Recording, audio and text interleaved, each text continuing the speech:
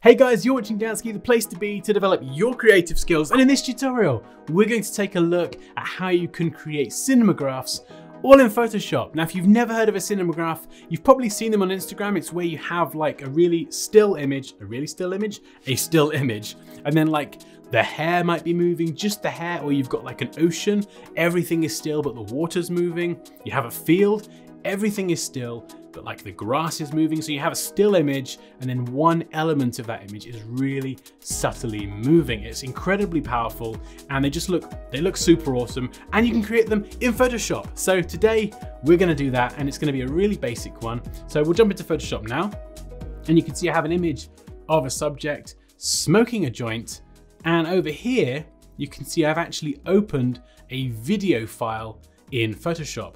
Now, if you don't see the timeline down here, just go up to window, down to timeline, and that will appear. Sometimes it appears automatically if you import a video file.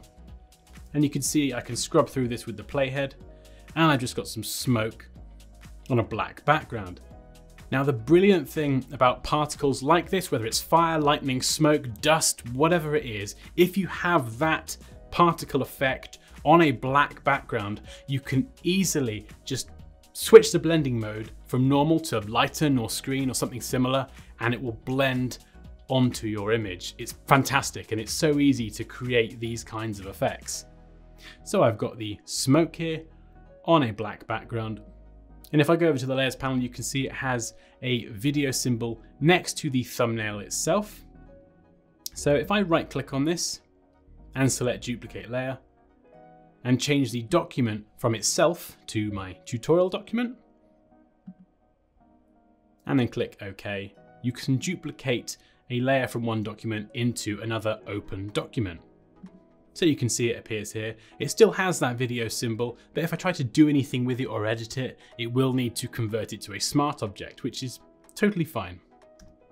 So if I go up to edit and down to free transform, now, when you do this for the first time, it will probably say, hey, if you want to carry on editing this, it will convert to a smart object. Just click yes or okay, that's totally fine. And now what I can do is resize this video. And you can't see a preview here. So just double click to set that transformation once you've resized it or press return. And the first thing I'm gonna do is, as I mentioned earlier, change that blending mode from normal to something like screen so if I scrub through the timeline now, you can see the smoke is playing. So we'll go for, well, find the start of the smoke, something like this. And then I can click on this layer and move it. And we'll scrub through. I think the size is probably about right. So you can scrub to the point at where the smoke is largest and where it begins, and then use that to kind of go up here, go free transform again, and you can basically adjust the size, adjust the rotation, anything you need to do to make sure that your particles line up with where they're going to be in your image.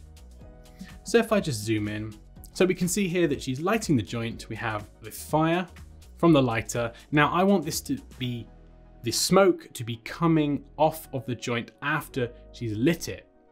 So what I need to do is actually just create a new layer and we'll do that from the bottom of the layers panel.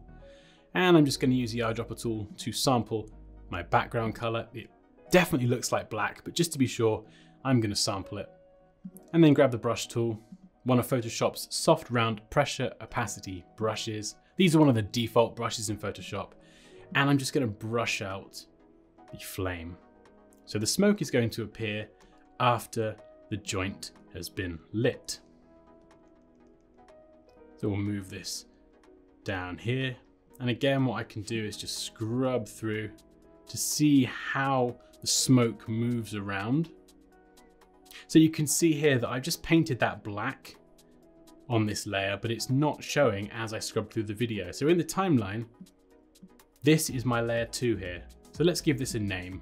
We'll call this flame cover. You can call it anything you like. And you can see that is this here. So I need to move this along so it runs for the entire duration of my animation. Now I can zoom out of the timeline here just so I can see everything. So we'll bring this up.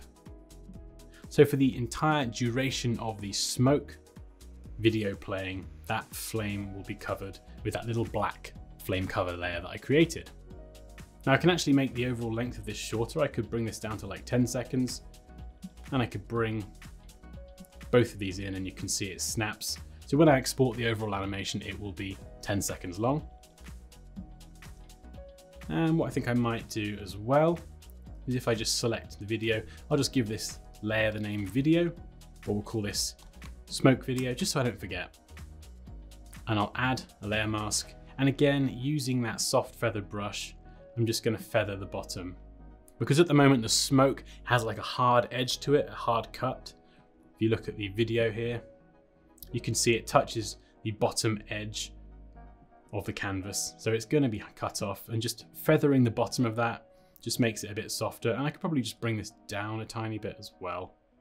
So it's just gonna blend a lot more seamlessly. So if I bring this back, you can see the smoke is playing. So the image itself is a still photograph, but we have video playing over the top. So if I scrub back to the beginning, and I can press spacebar, or I can click play here to start playing the video.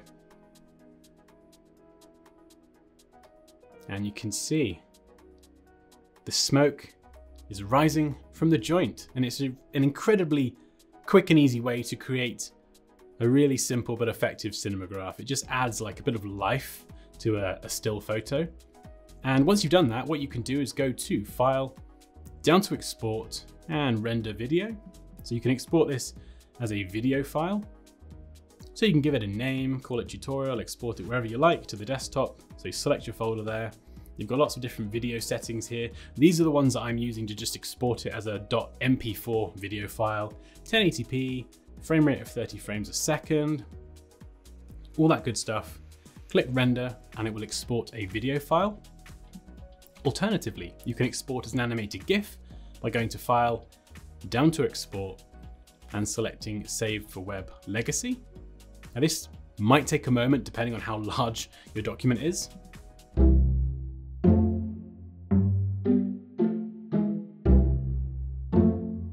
So that actually took about 30 seconds to load up this dialog box because this is a particularly large document to create an animated GIF from. I'll probably speed that up in editing so you don't have to sit there and just look at me just standing completely still.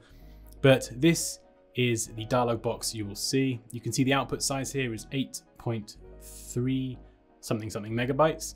These are the options I'm using. So we've got GIF. This is the preset from the dropdown. And what I would typically do is just deselect transparency because there is no transparency in this. You can mess around with the settings here. Colors I have at 256 so you get the maximum amount of color in your image. Although this is a black and white image so you could drop this a bit. If you had a color image, you want to keep this as high as possible to maintain the image quality. The matte, I always have this uh, white typically. Lossy, you can probably bump this up to somewhere around 10 to 15. This will degrade the quality slightly of your image, but it will reduce the file size. So Sometimes your file size will be absolutely massive, like down here. Uh, this isn't too bad. It can be a lot worse. Um, when you add color, if this image had color in it, for example, this file size would be astronomical. So lossy could be quite handy then, but also you can change the size here. So at the moment, this is, well, this is a ridiculously large GIF. So if I were to change this here and put in like a width of 800, I'm not gonna do it because it would take ages to kind of process that but you could export this particular graphic at a size of like 800 by whatever it would be, and it would drop the file size down massively. So if you are doing GIFs, I would de definitely recommend working on smaller document sizes, uh, unless you're happy to sit through like a really long loading screen. But yeah, there we go. And you can of course set the loop, so you could have the GIF loop forever as well, which is a really effective thing to do with a cinemagraph. So yeah, there we go. Whew, okay, an introduction to Cinemagraph. So hopefully you enjoyed this video. If you've got any questions or comments or you'd like to see some Cinemagraph tutorials, maybe in a bit more detail, then let me know down below. But as always, like this video if you enjoyed it. Take care and I'll see you next time.